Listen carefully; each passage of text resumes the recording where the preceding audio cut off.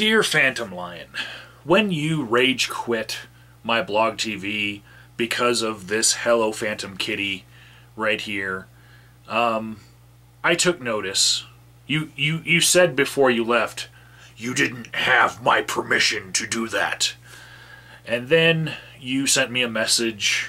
Uh, you, you forwarded one of your old videos to me from the 7th.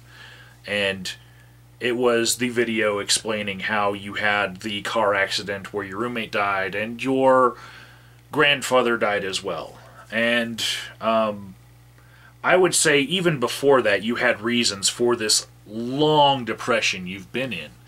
Um, and what I have to say to you is that when you are ready to rejoin Ponage Society, when you are ready to rejoin this group of friends you have that scrutinize each other and rib each other all the time, we'll be ready for you. Come on back. You know, you've been depressed for a long time, way before any of these things happened to you.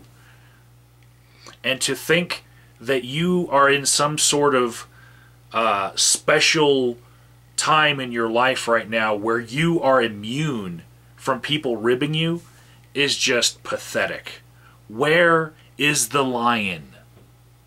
Where is the lion? You don't resemble anything that looks like a lion right now.